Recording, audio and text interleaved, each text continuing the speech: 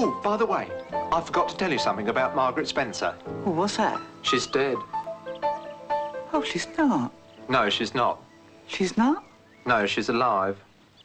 Then why did you say that? Malice, I'm a liar. I do it the whole time. I can't help it. Are you telling me that everything you've ever said is a lie? everything I've ever told you has been a lie, including that. Including what? That everything I've ever told you has been a lie. That's not true. I don't know what to believe. Not me, Stanley. Believe me.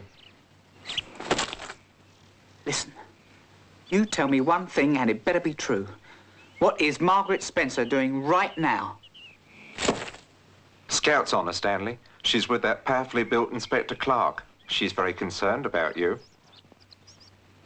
Oh, I'd like to be in the room with them. Wish I was a fly on the wall. Julie Andrews! You rotten